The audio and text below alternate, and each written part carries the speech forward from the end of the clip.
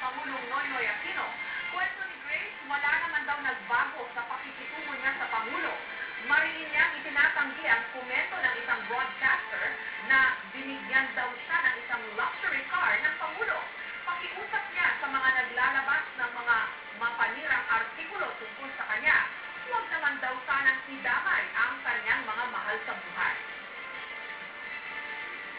I think I have the right naman to remain silent on certain things about my private life. You want to write something bad or negative about me, it's fine. You can you can call me a blabbermouth, you can you can call me madaldal or whatever you want to call me, that's fine. You know, I, I I take that it comes with the territory. But let's not drag anyone else's name kasi wala naman.